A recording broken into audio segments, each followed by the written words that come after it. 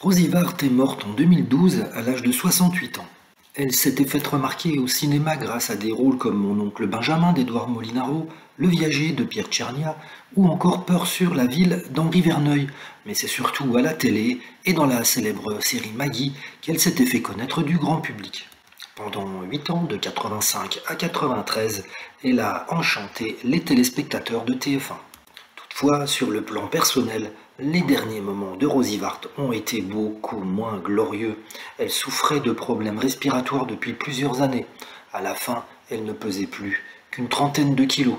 Après avoir été admise à l'hôpital américain de Paris, elle s'est éteinte à la suite d'une bronchite.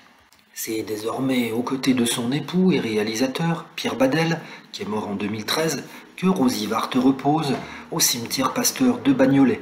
Elle aurait eu 99 ans en 2022.